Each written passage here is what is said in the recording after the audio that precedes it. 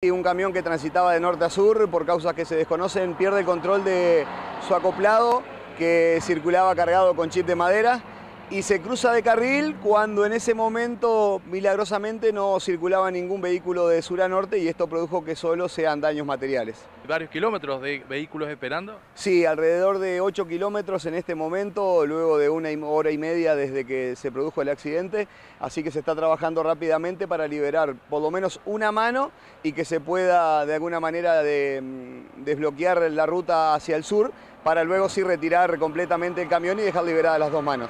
Además es un sector donde el cantero central está hecho de hormigón y se, es complicado para hacer bypass y, en, causar el tránsito por el otro carril, por lo que es eh, bastante complejo. Pero dentro de todo se pudo trabajar rápido, se pudo limpiar rápidamente la ruta y dejar retirado hacia un costado el, el acoplado para poder encauzar nuevamente el tránsito.